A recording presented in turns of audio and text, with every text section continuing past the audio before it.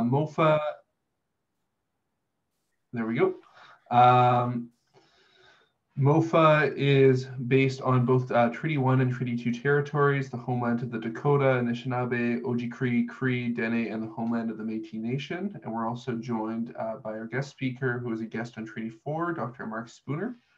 Uh, it's a real pleasure to have everyone out here tonight. This is a really great opportunity to start to build those bridges and to learn about um, a really uh, intricate piece of uh, policy that a lot of governments are moving forward with, with performance-based funding. Uh, we're really quite lucky to have Dr. Marc Spooner here, and the event tonight will be co-hosted uh, by Dr. Scott Forbes, who is the uh, Manitoba uh, Organization of Faculty Associations president and a professor of biology at the University of Winnipeg. Last night we had a discussion and seminar looking more so at the effects of smaller institutions. Today we're going to have a bigger picture look at how it's going to affect Manitoba. Um, for tonight, uh, we are going to try and keep it civil. We kept it very civil last night, and I very, very much appreciated that as the moderator and uh, person with the power to mute people at will. So uh, how we're going to do this is I'm going to momentarily uh, turn this over to Dr. Forbes, who will introduce Marc Spooner. Um, Dr. Spooner will speak for about uh, 20 to 25 minutes or however long he pleases. Um, and then we will open it up for a question and answer. Um, and I also just wanted to uh, recognize uh, and welcome uh, Kevin Rebeck from the Manitoba Federation of Labor, uh, certainly a strong partner uh, in protecting these rights that workers have fought for for many years. So after we have Dr. Spooner speak, we'll have the Q&A. At that time, we'll be taking questions via the raise hand function as well as the chat, kind of a hybrid model. Um, last night, some folks popped into the chat with questions um, and I just wanted to ask if it's all right to hold off on that, maybe write your questions down or keep a running document, uh, just because it throws off our presenter because uh, they see stuff pop up and it throws them off their rhythm.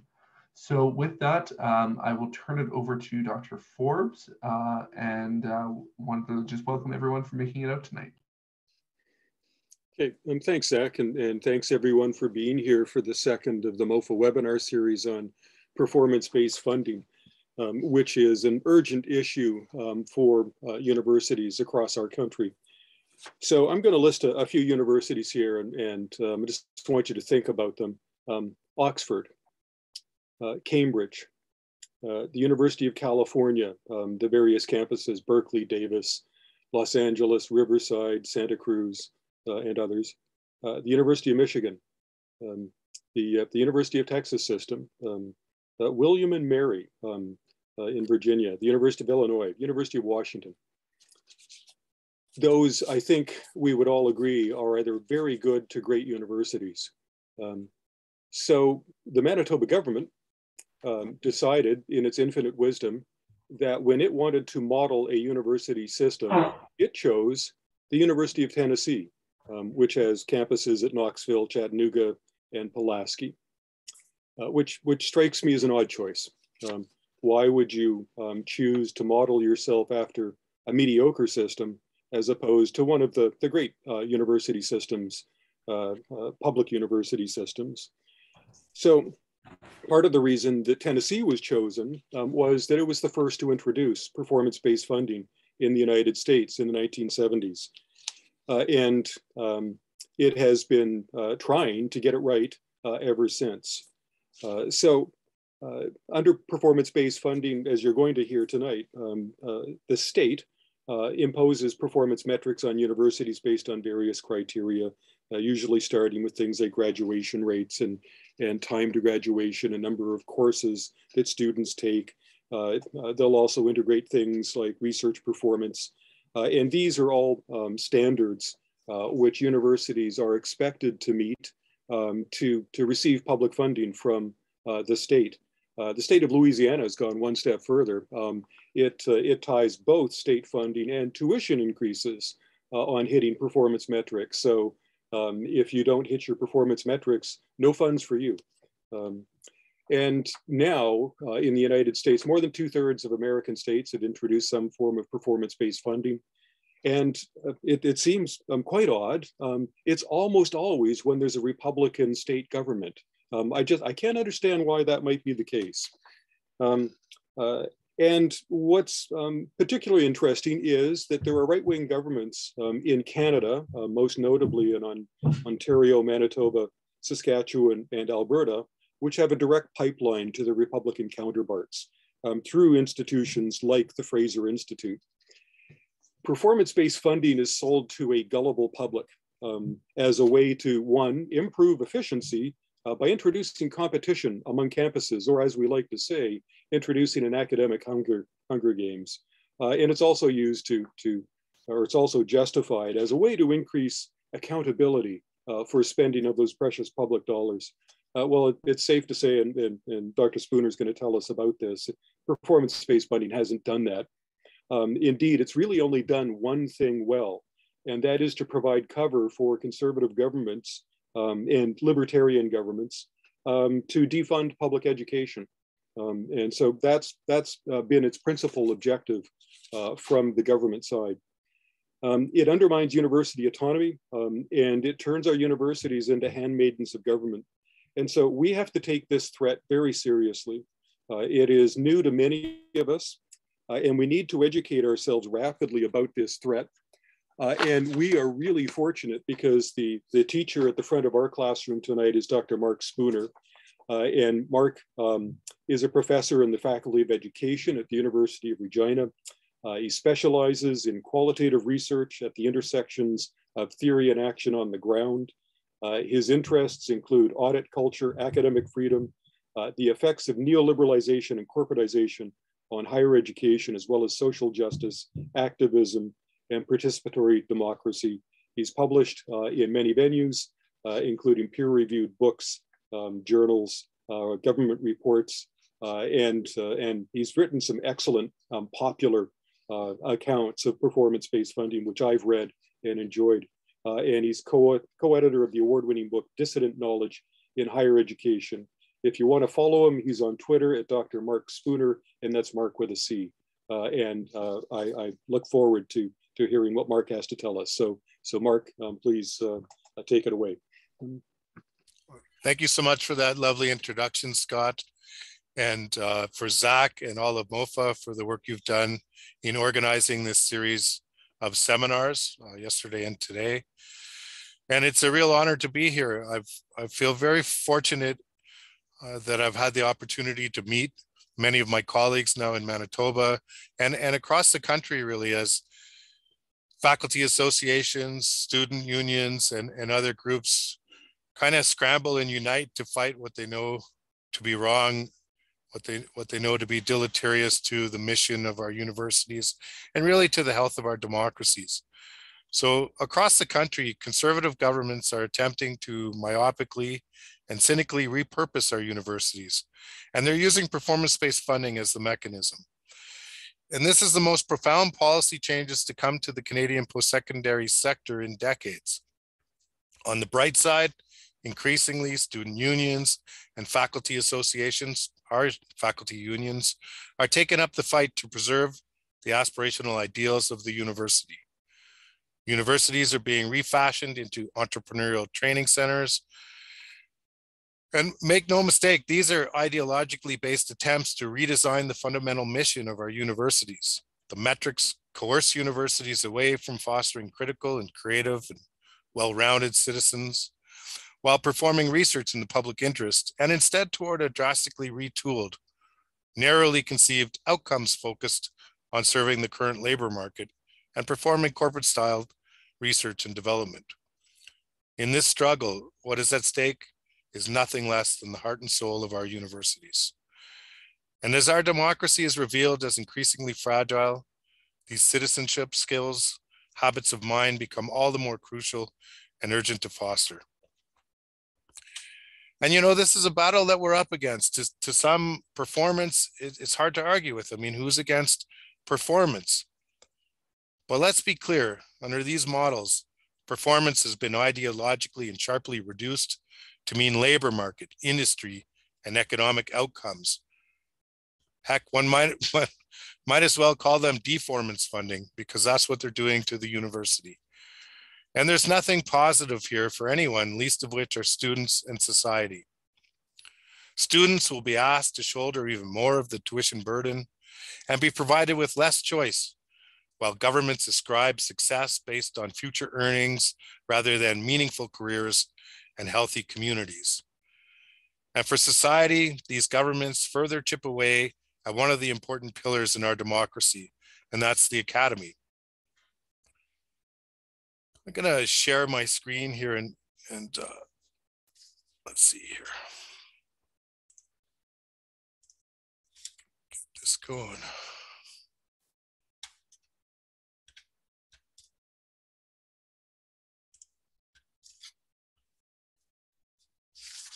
Okay, here we go. I think that's working.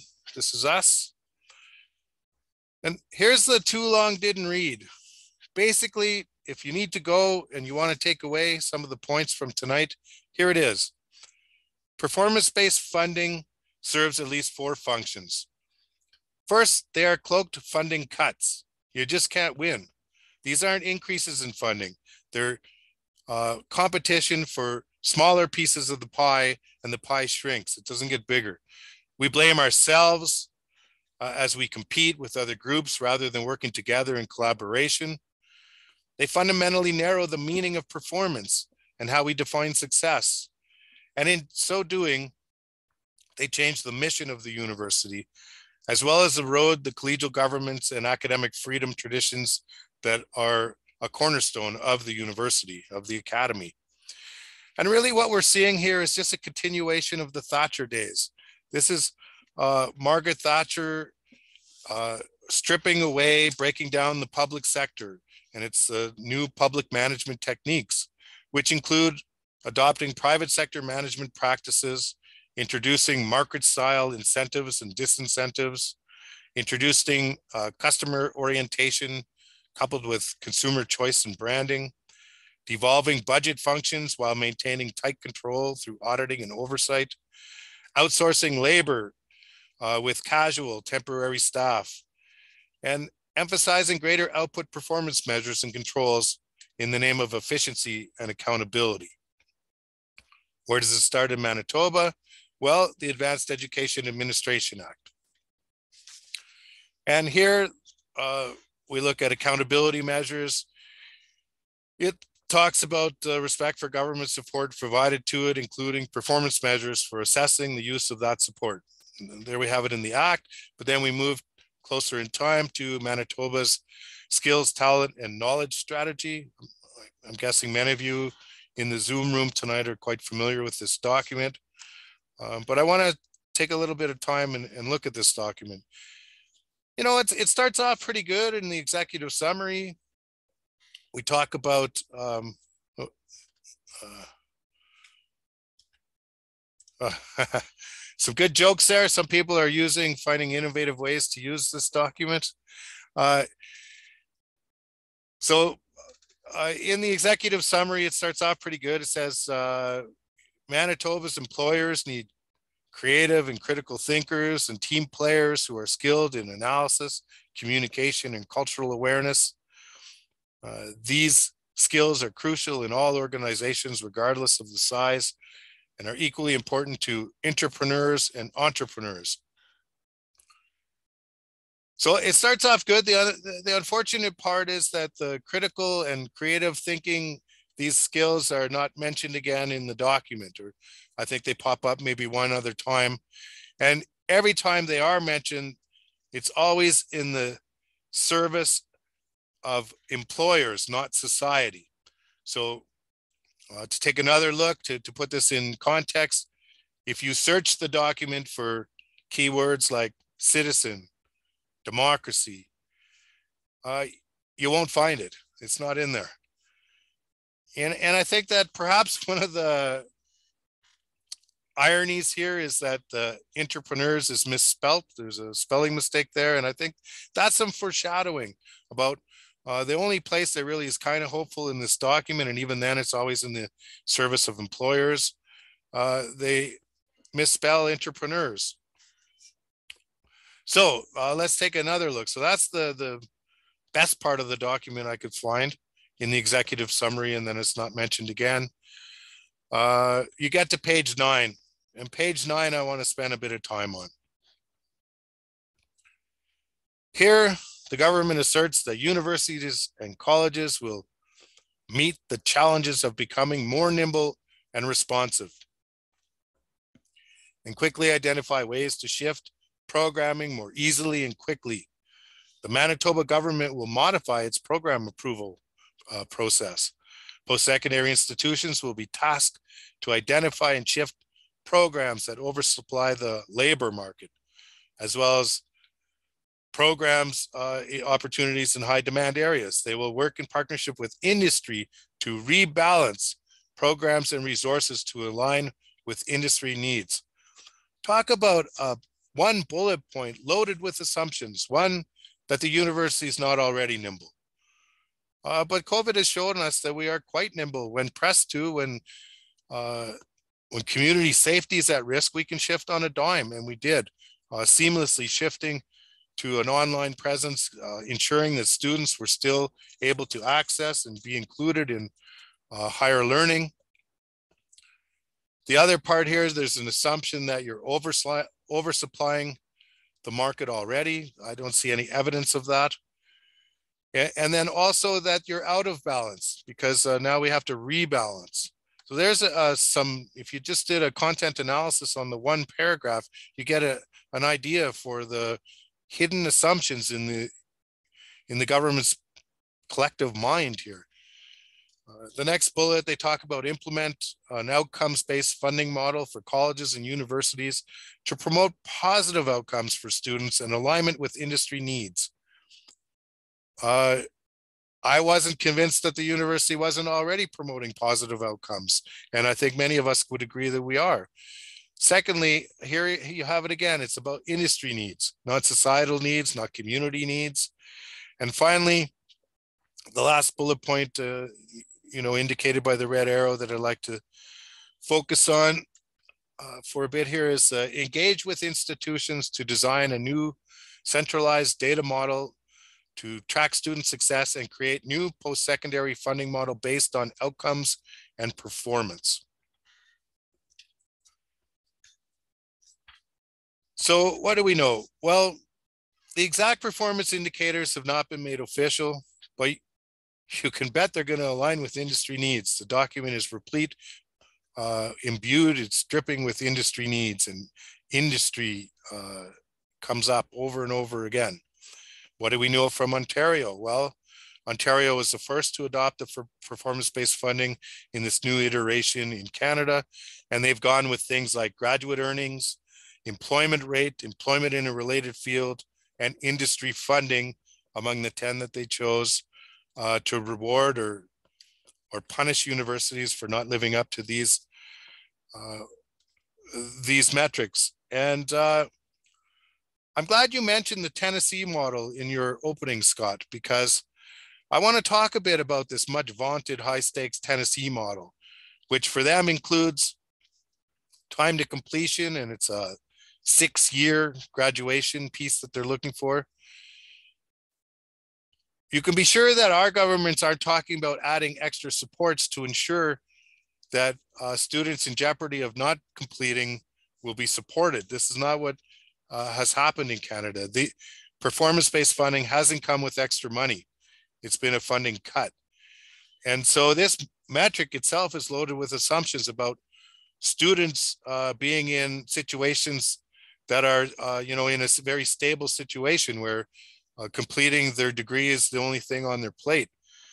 But without supports for helping students who face other challenges, I think about single parents and working students working several jobs or in an unstable housing situation or who are otherwise financially challenged uh, this is actually working against them this metric and it works against uh, the university who's trying to who who would try to push students out after uh, in order to meet this metric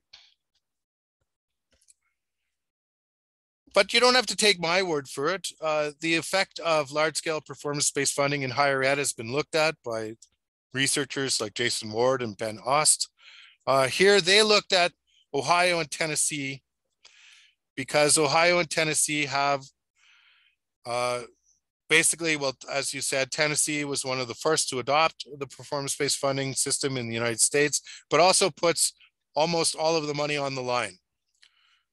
So in these states, uh, these are called high stakes uh, performance-based funding. And what these researchers, found, see where it is here, Ohio and Tennessee, where nearly all state funding is tied to performance-based measures. Um, what they found was we find no evidence that these programs improve key academic outcomes, none. And the metrics they use aren't uh, all the same as the metrics that Ontario has proposed and that I'm almost certain Manitoba will adopt. There's another piece here. Let's take a, and there's their conclusion.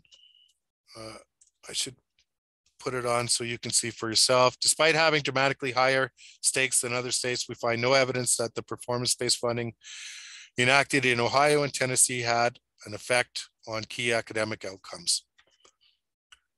Now, lastly, I'd like you to take a look at some of the GOP lawmakers that are in Tennessee. Uh, here's what one had to say about higher education. Tennessee State GOP lawmaker says getting rid of higher education would save America. He later recanted, uh, said he was only kidding, but he did say this on a conservative talk show. And uh, so you get an idea of where this is kind of coming from. So I want to talk a little bit about today's labor market. The first thing you should note is that universities do not control the labor market. And second, the rationale for using the current labor market realities to direct future post-secondary education, uh, to direct future education funding is dubious at best. A case in point is Alberta's optimistic investment in petroleum engineers 10 years ago and the reality of the job market those graduates now face. In a similar vein, 10 years ago, few predicted the mushrooming demand for social media managers, engineers specializing in uh, sustainability. And as my attention turns to headlines these days, I feel compelled to add epidemiologists. So looking at employment rate and graduate earnings, Ortagus and his team did a systematic review uh, of this. And, and, and he published in the Educational Evaluation and Policy Analysis. This is a, a very good journal. It's out of SAGE. It's an AERA journal. For those in education, you'll know AERA is the biggest uh, educational uh, association in the world. It's the American Educational Research Association. Basically what they found is that universities will be rewarded for taking students with the most social capital. So Ortagus and his team undertook a systematic and comprehensive review of 52 of the best peer-reviewed studies uh, that were published between 1998 and 2019 that examined the outcomes of performance-based funding in the 41 US states that adopted the funding model. After meticulous review, they concluded that performance-based funding is generally associated with null or modest positive effects on the, on the intended outcomes of retention and graduation. But there is compelling evidence that performance-based funding policies lead to unintended outcomes related to restricting access, gaming of the system, and it disadvantage and disadvantages for underserved student groups and under-resourced institutions. So indeed, Ortagus and his teams research confirms what many of us feared, tying student enrollments to specific outcomes such as graduate earnings and graduate employment rate will skew funding towards institutions that enroll, that enroll students with the best chances of, of being employed at the highest pay immediately after graduation. So that favors students with the most social capital. Such an approach will happen at the expense of prospective students from Canada's most marginalized groups, since equally qualified but racialized Canadians are hired with less frequency and for less pay than their non-racialized counterparts. Thus, these plans will sabotage any hopes for equity, diversity, and inclusion gains among students pursuing post-secondary education. And here you can see their abstract you don't have to read it all. I'll leave it up for a second uh, so you can get a bit of the flavor of that paper.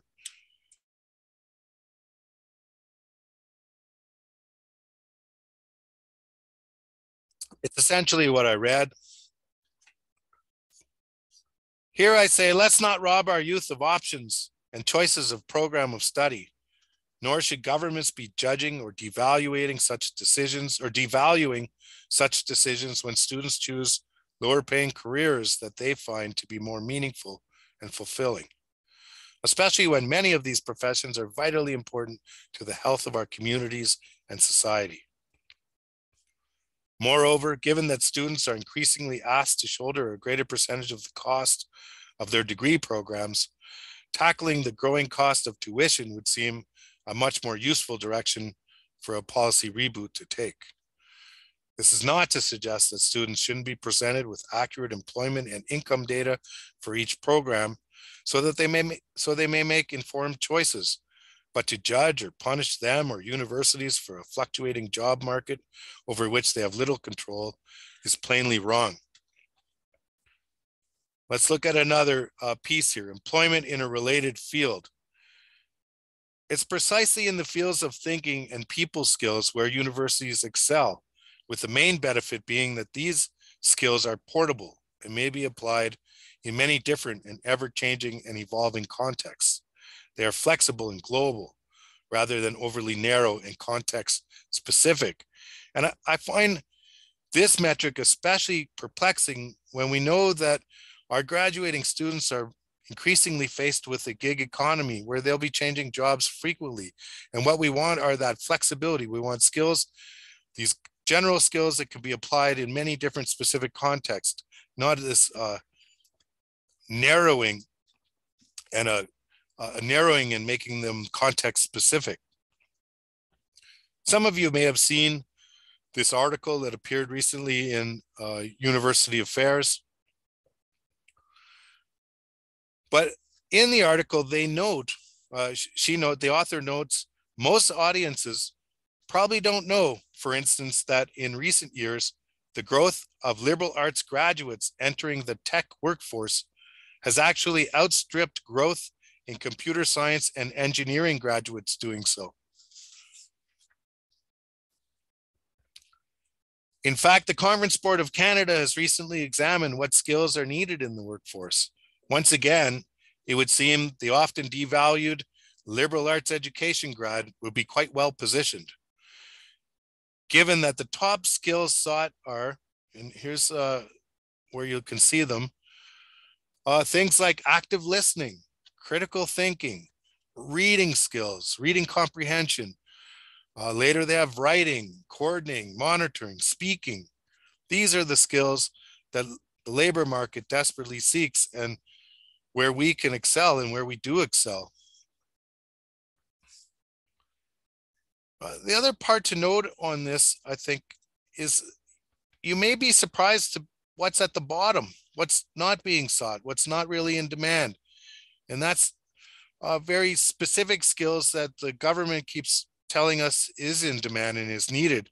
Well, the conference board is hardly a left-wing organization, and they're in agreement with what many educators have been saying for some time, that uh, in, in their findings here, uh, where they're not looking for programming or people with technology design or very specific skills. That's that's not the skill set that they're looking for. Uh, they're looking for critical thinking, active listening, reading comprehension, these global skills. I want to move now to industry research. Industry funding is another metric that uh, the Ford government has put forth, and you can probably be sure will be included in Manitoba's top 10 metrics if that's what they go with. Well, think about this metric for a minute. This metric perverse. I can't believe how perverse uh, this metric is because this approach will tie public funding to private funding and will clearly incentivize the further commercialization of university research.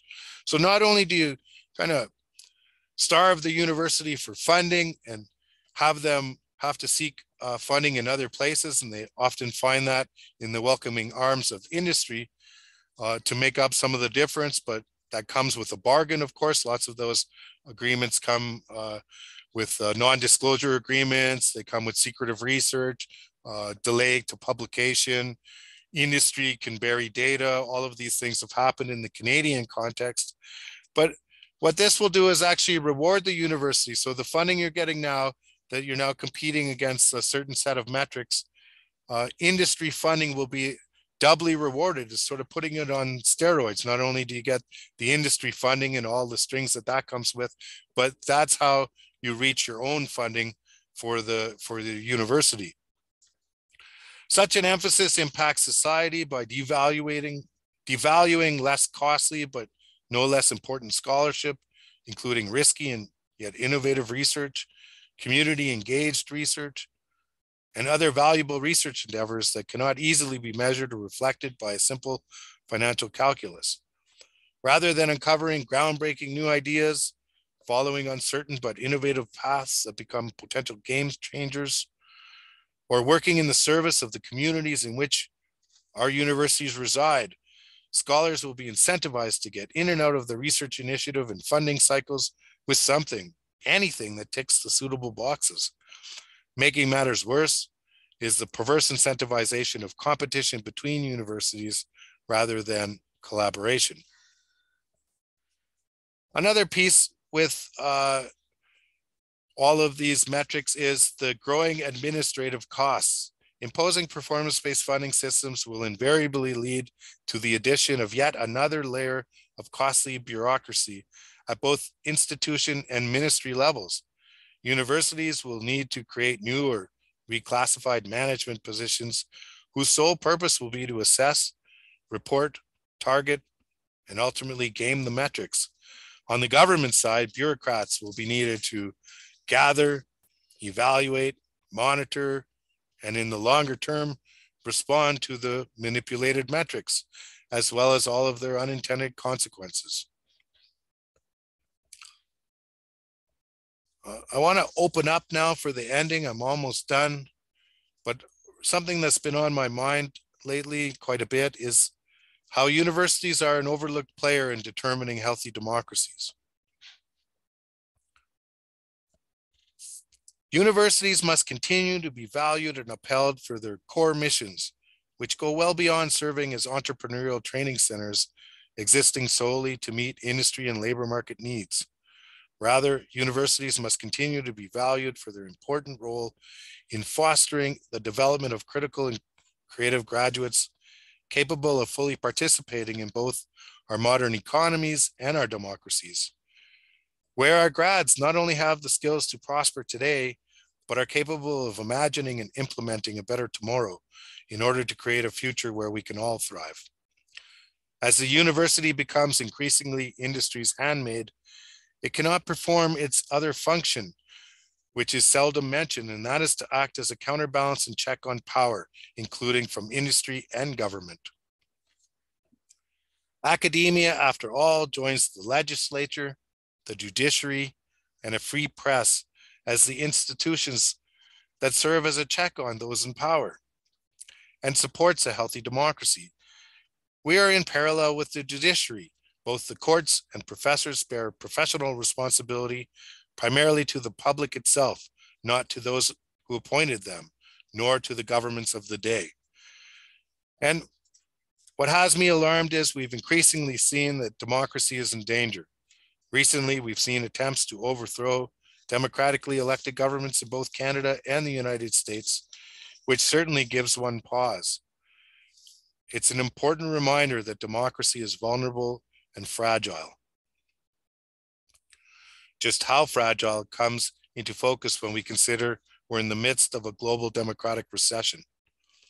From extreme examples like the outright takeover of universities in Hungary to the massive crackdown and firing of 6,000 scholars in Turkey, in many countries across the world, academic freedom is endangered as authoritarian minded governments seek to control their universities. Closer to home, our neighbors to the south are currently engaged in a new and more troubling reprise of the McCarthyist Cold War era, when there was little tolerance for suspected communist ties and many academics were forced to sign loyalty oaths and interrogated and even terminated. The Brookings Institute reports that at least 29 states have or plan on passing legislation banning entire areas of study, like critical race theory, with many of these bans extending well into higher education. When you add to that states like Georgia, who have recently eliminated tenure, none of this bodes well for what was once thought to be a paragon of democracy. Meanwhile, in Canada, critical and creative habits of mind, as well as collaborative communication and civic engagement skills and discovery driven research are being pushed aside as universities are directed and financially rewarded to focus on graduate employment earnings, graduate employment rate in a related field, and research funding from industry sources in the most profound policy changes to hit the Canadian post-secondary sector in decades. In return for de defending a robust academic freedom, a country's university faculty are enabled to speak truth, act as a check on government, and help foster critical and creative participatory citizens whose formation prepares them for a lifetime of democratic engagement. But of course, institutions of higher learning are not, they're one site, not the only site for teaching and learning and practicing these critical skills and habits of mind. The academic and freedom entrusted to faculty is usually described in one of two ways. The first manner aligns academic freedom with rights, privileges, freedom. The second brings in concepts such as responsibility, duty, whistleblower, whistleblower protection. The first description is often used by critics who inevitably trot out the ivory tower metaphor to describe the academy. The second is found in the language used by its defenders. It's in the language that I like to use. It, its metaphor is one of a lighthouse. In the second concept, every tenured professor is a potential whistleblower, a societal lighthouse keeper, and can work in tandem with a free press for reporting on elected governments and their policies and providing a real transparency and accountability. It is a delicate balance where the scales can easily be tipped in the opposite direction. It is not difficult to imagine the potential for wealthy private donors, multinational corporations, a populist mob, or even the government itself to bring it all down. As more countries flirt with democratic backsliding, we should all be concerned. A country's tolerance and respect for academic freedom serves as a key indicator of the health of its democracy. Let's not, let's not ignore this important warning, or I like to say, let's not ignore the canary in the campus. Thank you.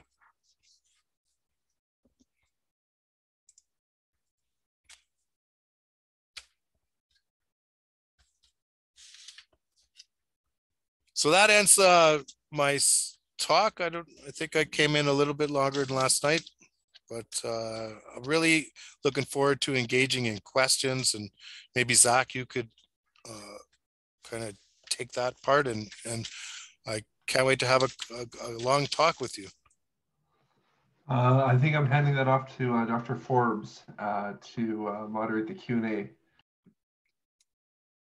Okay. Um, Uh, questions for Dr. Spooner. That was that was a, a fantastic, uh, comprehensive seminar. Um, I've got um, oodles of questions, but um, uh, let's open it up. Um, uh, Dr. Hare, I see your hand up. So, so, Thank you for that, Scott. And Marc, thank you again for a very enlightening talk. Um, it's certainly abundantly clear from last night and tonight that the adoption of this performance-based funding will prove disastrous for institutions of higher learning and for society in general. You mentioned that this assault, though, in Manitoba stems from Section 2.5 of our province's Advanced Education Administration Act, which clearly does outline the prospect for performance metrics assessing the use of government support. But there's also right under that, I noticed a, a Section 2.6 that's labeled considerations and limitations.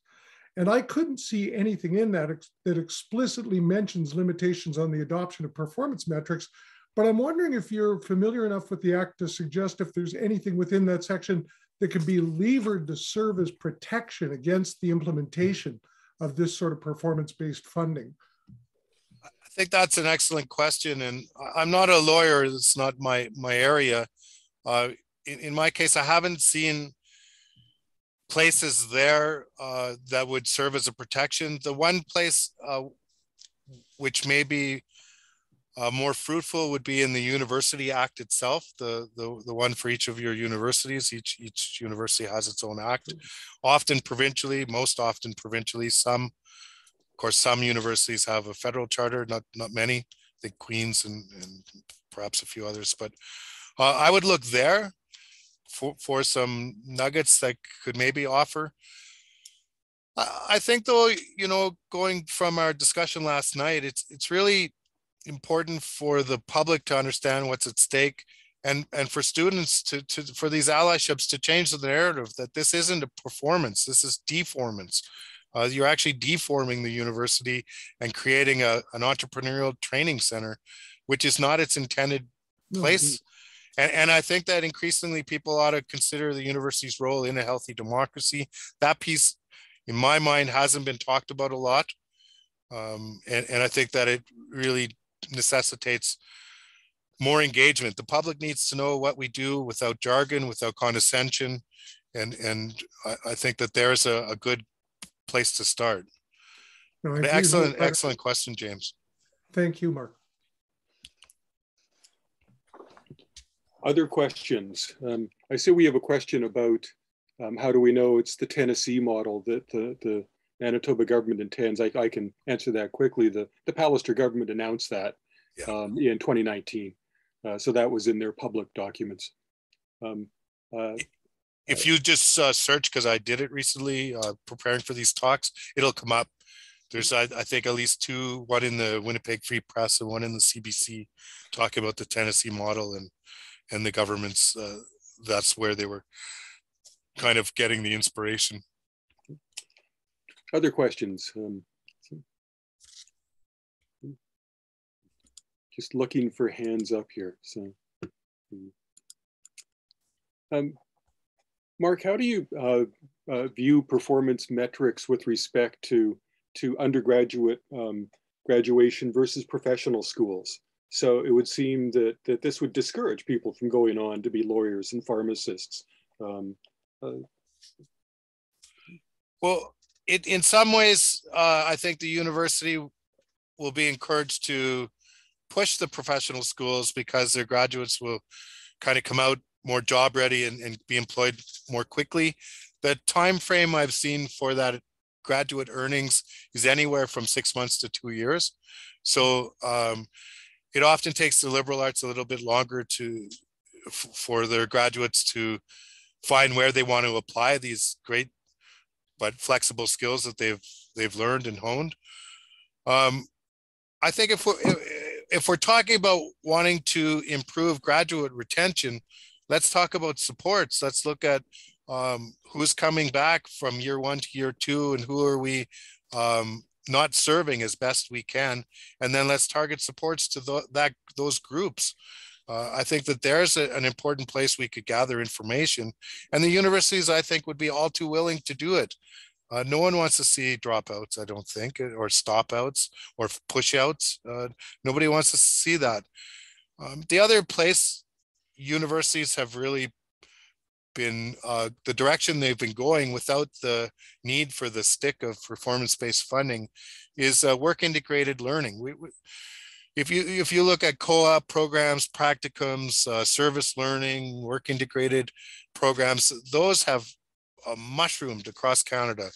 Almost every program now has some form of practicum or visiting in the field or some authentic piece. And, and I think that there again, universities are all too happy to collect tuition uh, from students and have them go out in the field and and get some employment skills. Students, from their perspective, like it because it often leads to employment. And uh, the government and industries like it too. You know, you're seeing what the grads are doing, but all of that was achieved before post uh, post secondary were put under a performance based funding system. So we are already moving in that direction, and I think that again, if we want to support students, we should look at who's not coming. Who are we uh, not encouraging, and, and how can we do a better job of supporting them and their success, including writing centers and teaching and learning centers in university, uh, helping professors become better teachers. And, and then on the student support side, there are all kinds of other financial support and also academic supports that the universities often are in a position where they have to make cuts there. Uh, so it's counter to the goal that we all want to try to graduate students and have them be as successful as they can be. So a, a roundabout answer to that one, I think. Okay, um, we have uh, more questions from the, the audience. Uh, John Thomas, I've got you next on my list. So, so. All right, thank you. Thank you, Marc, uh, again for that great talk. I've been thinking about this since yesterday, and this is not so much a question as a comment that I'll invite you to respond to. There seems to me to be a fundamental contradiction in between the, this law and this approach to higher education and the people who are making it, in that, uh, as you've pointed out quite clearly, this is the government trying to mess around with supply and demand in terms of, of labor market outcomes coming from a conservative government, uh, from a right-wing government that would typically be all about free market and not interfering uh, in industry and not interfering in in, in the economy as much as possible.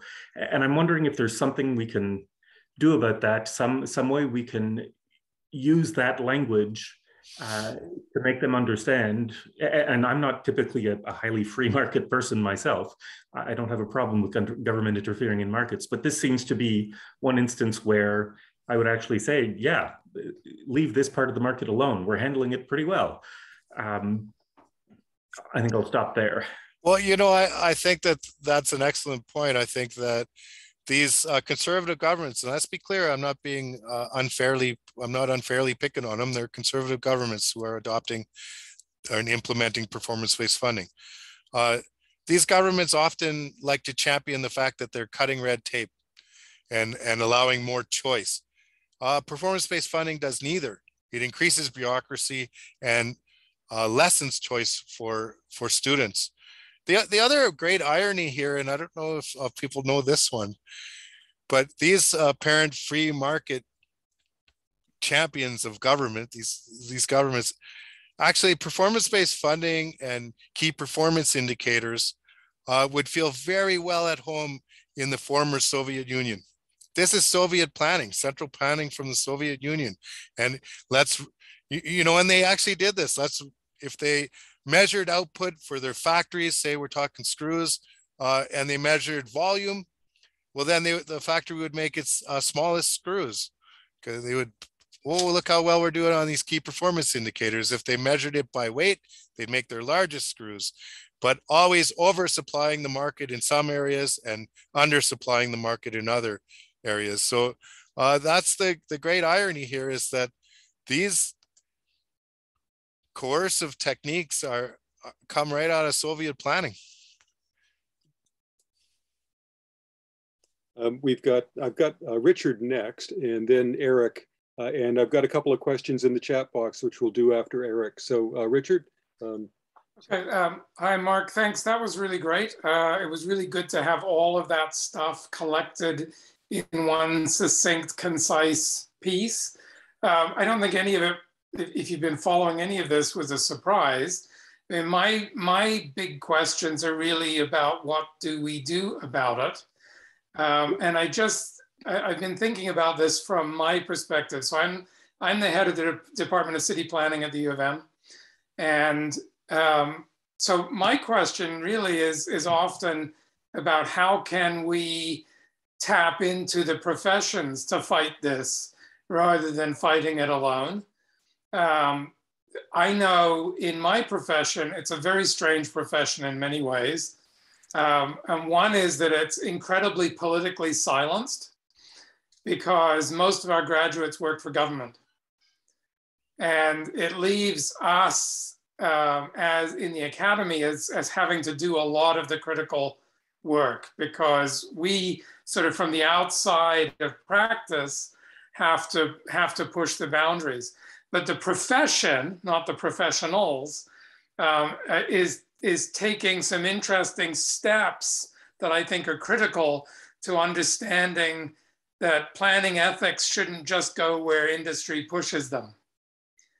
And so, you know, I, I wonder about partnerships, and I'm assuming that other professions are going through similar um, evolutions, similar growth patterns.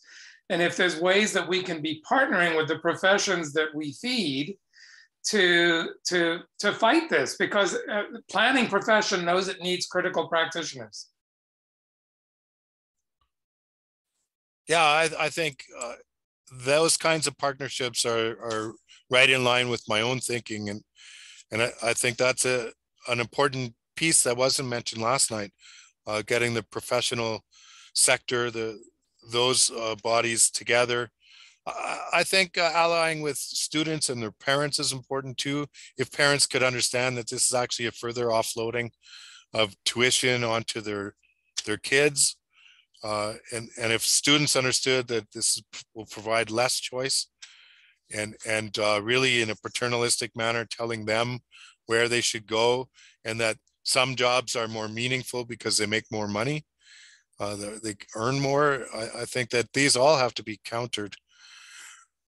I, I said it last night. I, I think that uh, politicians need to be reminded too our lawmakers need to be reminded that this is an intergenerational theft of opportunity, that they themselves benefited from affordable tuition and, and are now putting this all too much on uh, further burden onto, to, onto students through tuition. And a student shouldn't have to graduate with a mortgage on their house of knowledge, uh, is something I, I, like to say. And uh, I've also thought that uh, it's clear from the Conference Board of Canada and, and other researchers, uh, other other demands, other that the liberal arts are in demand. It's just I, I think when parents and students are faced with high tuition costs and they need to make a decision about what programs they're going to eventually go into, that has to factor into it. Some, especially if you're a first time uh, in your family going to university, you're going to want some guarantees that you're going to get a job right away. And so I think people fall to the professional faculties there, but um, I, I think if but you. The, but, uh, but the professional faculties also want students who have good liberal arts backgrounds. Yeah, I, I think that that needs to be well uh, raised and, and brought to the attention of of uh, popular media and and and, and to to uh, the communities in which our universities reside. I, I, think that's definitely a piece. I don't know if uh, are you thinking other ways we can make these partnerships?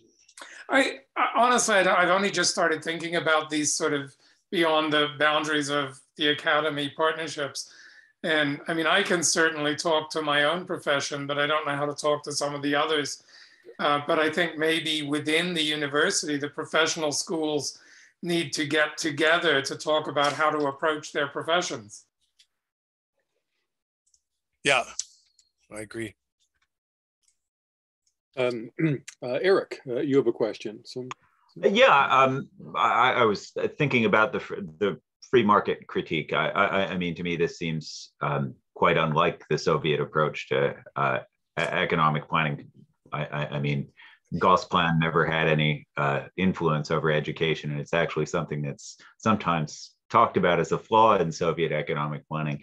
It, it, it more seems to me um, uh, of the neoliberalism using, you know, the, the, the sort of analysis of somebody like Quinn Slobodian saying that um, it's an appeal to the free market that really uses the state in a heavy-handed way.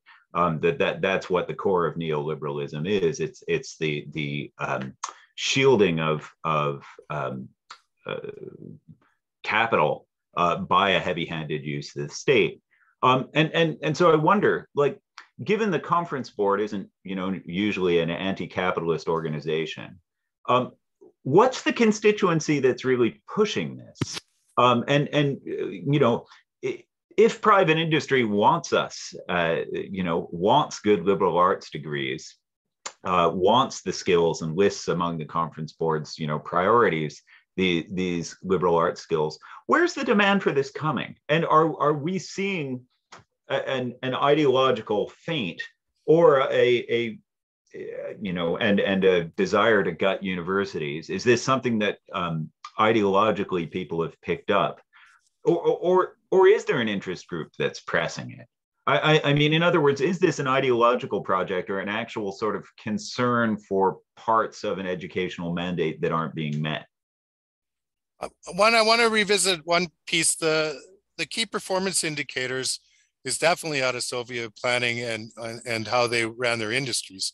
That the literature is replete. If you go, if you read uh, performance-based funding in terms of uh, putting consequences on key performance indicators, that that is uh, very clear coming out even with you know in 76 campbell's law if you heard about campbell's law the the more you put an emphasis on a target the more it deforms mm-hmm. uh, the thing that it's set out to measure and and he he all of the, his studies were looking at soviet planning uh, in terms of industry maybe not on their universities but definitely on their uh, industries but on your other part i think that these are tired, broken ideas from governments bereft of, of anything better.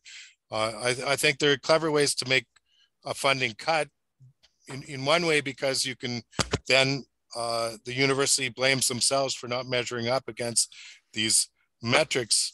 I, I, think that that's partially a piece. I think it probably sells well.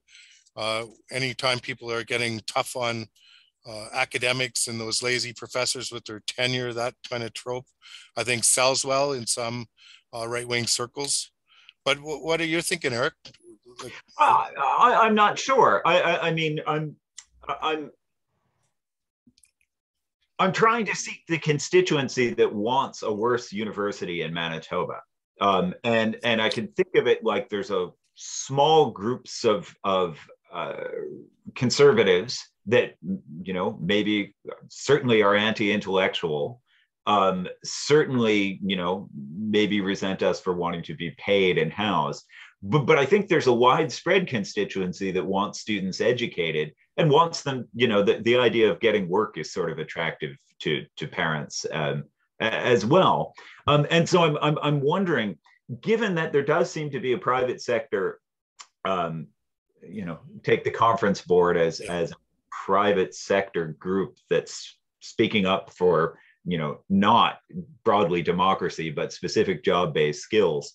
I'm wondering where the impetus is to really like that there's a vision that the university has gotten it wrong. And you know uh, I, I guess looking for rent seekers that are looking for specific training that's carried over in the university or or some group that feels that what the university is producing um, that that would be putting their money and effort to you know encourage the conservatives to go in this direction rather than another direction. Did, or did you have the convoy uh, protests in Manitoba? Yep. I would say there's a constituency that has no respect for knowledge or expertise or university. I, I know out here the it's maybe different in Manitoba, but, but in, definitely in Saskatchewan, the our Saskatchewan party gets uh, is worried about the right flank, not the left flank, and and so does try to throw, you know, uh, some attention to uh, the sort of Buffalo Party, that that kind of uh, that line. It's it's more from the the right flank and not the left. I think the same is true in Alberta. I'm not sure about Manitoba, but definitely there's a segment of society that would be all too happy to get rid of universities or or have them uh, only serve industry needs and a very limited view of industry. Uh, I, but I think if you talk to the, the real captains of industry, I, you're right. I, I don't think that this would well serve them. And, and so you, you wonder why, where is it coming from? You know, there's uh, the influence of the, I think the Fraser Institute, uh, which is funded by the Koch brothers. I don't know how far you want to go in in terms of uh, following the lines of influence here, but uh, it, it's definitely sells in some segments of conservative uh, po political. You know, it's politically expedient in some conservative circles to attack the university and especially tenure. I think we're a pain in their butt too. I think that uh, when you look at curriculum, if you look at the example in Alberta with the K to 12 curriculum that they were trying to sort of push on to the teachers, it was a lot of university professors speaking out and and uh, making it difficult I think here in Saskatchewan, and I'm guessing it wouldn't be any different in Manitoba, a lot of the vocal opposition to uh, policies that aren't informed by by evidence uh, are faculty. Yeah. But yeah, I'd love to hear your. Let's go a bit further. What you don't? Do you agree or? Well, uh, no, I, I I do agree. It's it's I, I think there's a tension um, and a tension that we can probably exploit in resisting between this you know tensions within conservatism and um, um, you're right. I think that there is a resistance to ideological criticism uh, sometimes that just seems to want to resist it altogether. And um, if it's coming from faculty, then faculty are bad to be doing it. But but it seems the economic interests are really complicated in how it it, it relates to this program. Anyway, so it's it's not disagreeing. I think it's more trying to figure out what's going on. Um, um, so. Well, even in listening to this exchange, when I think about it, um, you know, maybe it's time to start a group called the Friends of Manitoba Post-Secondary Ed, if there isn't already. I just started one in Saskatchewan, and Alberta has uh, that group, Friends of uh, Alberta Post-Secondary, and and you may find some unexpected allies. Uh, and I think of what you're saying, Eric, in terms of captains of industry may actually come and be an ally, along with the other groups that you would more expect, like the students and professional groups and and faculty associations, which are really the ones uh, uh, pushing governments and fighting for the aspirational ideals of the university in the in the first place. So the last decade or so in Canada, it's the faculty associations, I think, that are upholding and fighting to uphold those ideals more than uh, other groups that you might think uh, would. Thanks. Thanks again. So I'm, I'm uh, looking at the clock here and we didn't want to go too far past the top of the hour. So I've got two more questions from Barry and Allison, but before that, uh, we'll do a couple of questions from the chat box and then we'll finish up with, with Barry and Allison. So uh, Aaron had a question, how much time do we have to fight back and make sure this doesn't pass? Um, so, so. Well, uh, you're, you have an election 2023, I think. Is that correct? And uh, from my understanding, the current government is pretty shaky. Uh, your premier has made several faux pas in the last, just in the last few days, there are weeks that I've been following. Uh, I, so I think there is an avenue to uh, attack and they there and, and to form allyships uh, to, to show that this is not going to lead to any of the great outcomes that they're putting out. Uh, and I think they'd be loath to have another battlefront, although I, I don't know, you know the context better better than I do. But, um, um, our next question is from Michael Miner. Um, uh, Manitoba also introduced Bill 33, the Advanced Education Administration Amendment Act, which allows the government to adjust tuition by program and institution. The government has said this is to keep tuition affordable. How might control over tuition be used to enforce performance-based funding?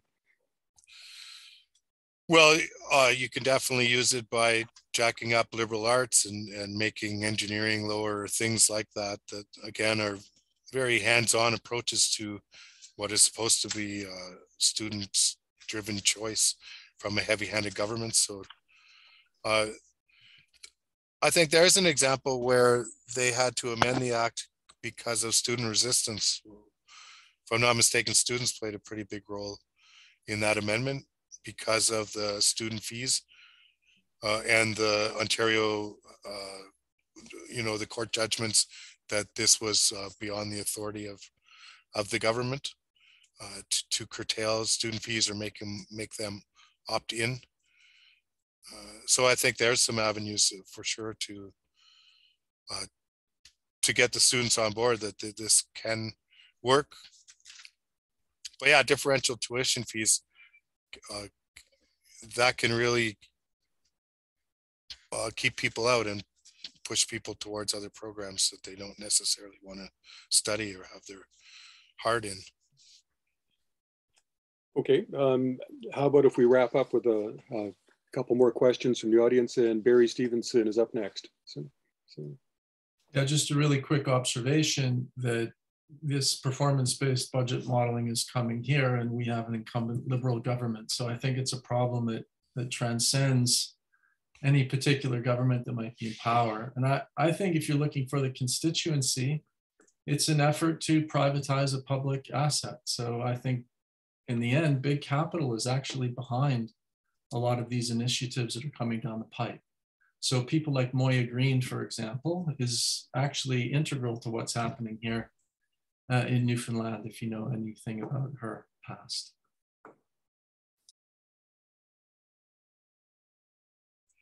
Yeah, uh, same in Ontario. I guess the first uh, strategic mandate agreements with key performance indicators uh, under was under a liberal government, although that never did pass.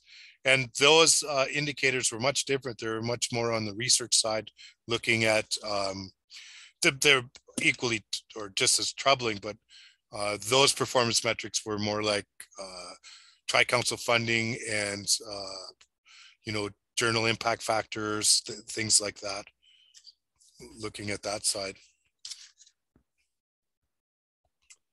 Okay, well, um, uh, our last uh, uh, questioner is my UFA colleague, Allison Bricky. So Allison, you're batting cleanup tonight. So Thanks so much. Sorry, I don't have my camera on. This is a, one of those dreaded academic comments, not a question, but uh, I really appreciated your talk. Thank you so much. It struck me as you were speaking how um, this idea that we have of universities as hotbeds of leftist, liberal, activist minded, you know, faculty who are um, anti-conservative really el- elides the, the economic realities of universities in Canada and, and the US that are increasingly structured as corporate corporations you know, that are deeply inequitable to, to their staff, some of whom, you know, an increasing amount of whom are adjuncts making below minimum wage with no benefits or job security.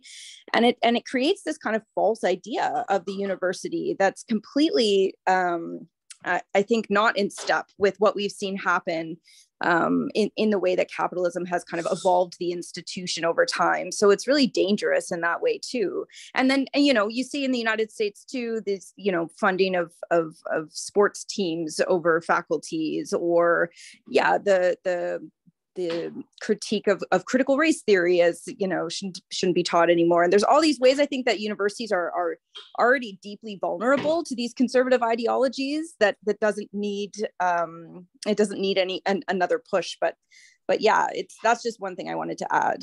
Thanks. Yeah on that note you talk about cancel culture uh, canceling entire areas of study is uh, the real cancel culture that's going on there in the United States, and it's very alarming. Well, um, that I think brings us to an end. Um, uh, we, we don't want to keep people here too long, but uh, Marc, do you have any um, final uh, parting remarks you want to, uh, any uh, wisdom you want to uh, pass along to the, the crowd before we wrap up?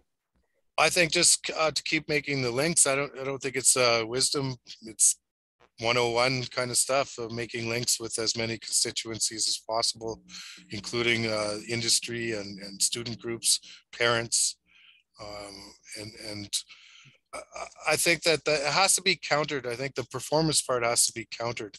That this isn't about performance. This is about skewing and, and very much limiting what counts as performance for universities. Uh, in the chat, I see someone's asking if this sets up more barriers for Indigenous learners, and I, I think it absolutely does.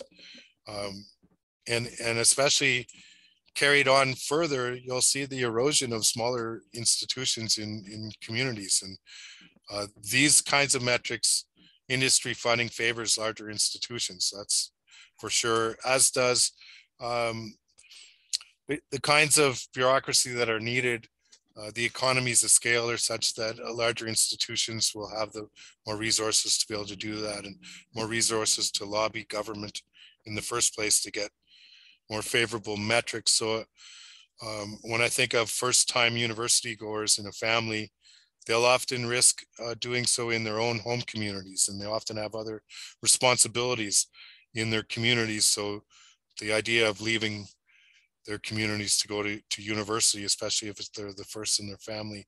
This is a further barrier to that. And, and it's a tui- increasing of tuition. It's make no mistake, these are funding cuts.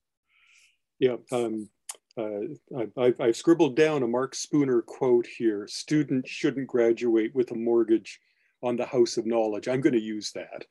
Uh, and and uh, I, would just like to thank you on behalf of MOFA and, and, the entire audience for a terrific seminar, which was comprehensive, informative, and brings uh, us up to speed on the dangers um, of performance-based funding. So, so thank you um, again for, for another terrific seminar. So, Thank you for that, and thanks for the opportunity. I look forward to working on this in the future. I, I wanted, I, I want the CAUT and the different faculty associations across the country to work together uh, to learn from each other effective techniques and to just create a unified lobbying group. So I think there's lots we can do here still. Absolutely. We'll talk to David Robinson, Marc. I, I, will. I, I, email him frequently enough. And if you do, Patrick, that'd be great. Oh, I will. I will. Okay, Zach, um, anything uh, you want to add? Some... Um, yeah, I just wanted to thank everyone for coming out. Uh, I know we're all tired of webinars after two years of the pandemic, but uh, really, really great uh, to have everyone out. And if folks want to organize or to agonize, uh, feel I put my email into the chat. Uh, I spelled it incorrectly, actually. Uh, but feel free to do so. Reach out to me, and happy to, um, you know, if folks want to start making that that connection, happy to do so.